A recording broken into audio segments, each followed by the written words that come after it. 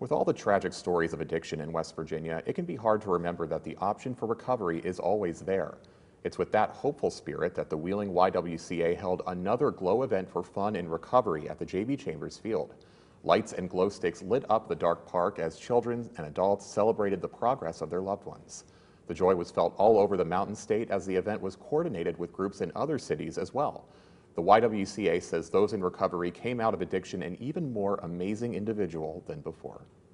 Sometimes, more often than not, you don't even recognize the person. There's a complete transformation. Um, and the fact that um, sometimes they meet or exceed even the individual that presented before their addiction um, is, is the, the unique and amazing thing. The YWCA is also now a two-time consecutive winner of the statewide Glow Run T-shirt graphic design competition.